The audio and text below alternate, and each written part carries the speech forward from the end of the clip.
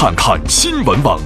赖声川的史诗话剧《如梦之梦》即将现演生成。那这部汇聚徐晴、金世杰、胡歌、李宇春的八小时巨作，是赖声川艺术生涯最具野心的作品。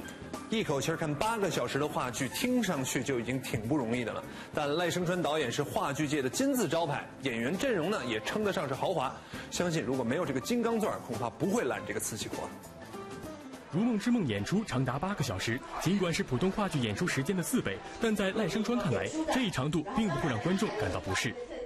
哈哈，我记得零二年那个在香港演出，呃，徐克跟林青霞来看戏，然后徐克就带了带了一大瓶水，他说听说是八个小时的，后来他坐进去以后，他说怎么办？到底要不要喝这个水？后来他发现其实。很轻松，因为每两个小时、每一个半小时都会有一次休息，尤其中间的休息是大约一个半小时，是可以好好的吃晚饭，跟朋友聊一下那个。此番演出，剧组会在工作日将八小时的话剧分为两天上下半场演出，而周末会从下午两点开演到十点。除了独特的演出时长，《如梦之梦》还独具匠心的改变观众的观剧方式。演员会以三百六十度围绕着观众，每场观众人数不能超过五百人。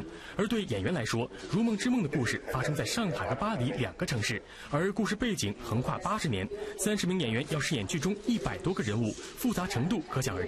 演员许晴就在语言关上犯了难。我难处理是要学几句上海话，因为我是北京姑娘，学上海话确实觉得很难。因为那我的发音是要从哪儿发音，胡歌也在教我，我的上海朋友也在教我，蛮难的。嗯。《如梦之梦》会在六月十日至二十三日在上海东方艺术中心上演十场。娱乐新天地孟祥云、张立人上海报道。